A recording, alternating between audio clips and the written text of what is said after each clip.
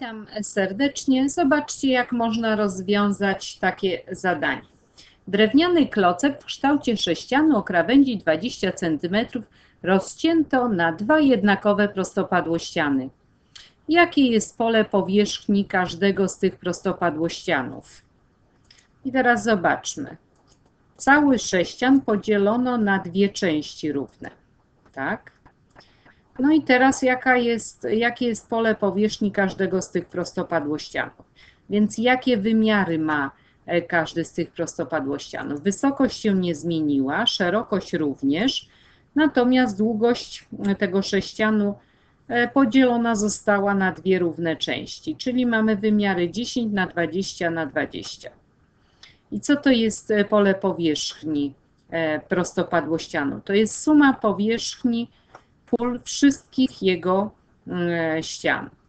I może zacznijmy od pola pierwszego. Niech to będzie ta ścianka boczna o wymiarach 20 na 20. Pamiętajmy, że w prostopadłościanie wszystkie ściany są prostokątami. Więc jak liczymy pole prostokąta? Długość boku razy długość sąsiedniego boku. Czyli w naszym przypadku jest to 20 razy 20. Ale że e, ściana równoległa do tej ścianki jest taka sama, również ma wymiary 20 na 20, to pomnożę przez 2, bo mam dwie takie ścianki. 2 razy 2, 4 razy 2, 8 i 2 zera, 800 cm2. A teraz powierzchnia druga, zielona ścianka. Jakie wymiary ma ścianka zielona?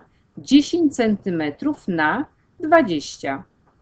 A ta z tyłu ścianka jest równoległa do tej przedniej więc również musi mieć wymiary 10 na 20.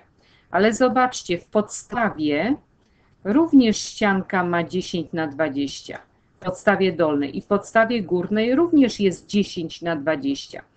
Więc ile takich zielonych ścianek będzie? 4 aż. Więc tak, jedna ścianka to jest 10 razy 20 i jeszcze razy 4, bo 4 takie ścianki mamy o tych wymiarach. 1 razy 2 to jest 2, razy 4 to jest 8 i 2 zera 800 cm kwadratowych. No i teraz pole całkowite jednego takiego prostopadłościanu ile wynosi? 800 cm kwadratowych dodać 800 cm kwadratowych to jest 1600 cm kwadratowych.